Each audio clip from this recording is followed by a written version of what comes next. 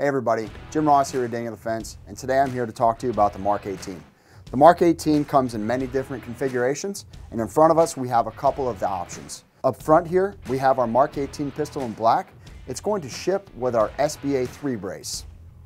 In the back, we have the Mark 18 black with Law Tactical folding adapter, as well as the SOB brace.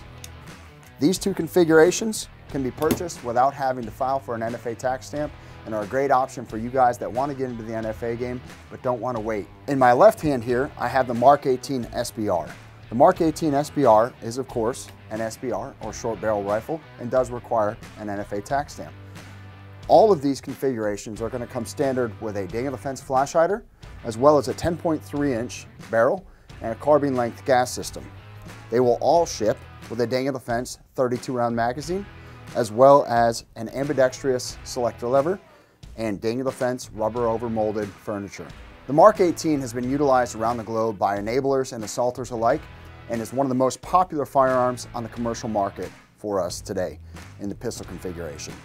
That is mostly due to the fact that it's a short barreled pistol or rifle and also the RIS-2 rail system, which is found on the M4A1 just in a shorter configuration, still as durable, still as reliable, and overall just a fantastic rifle. I can guarantee you will have more fun with this gun than any other gun in your gun safe.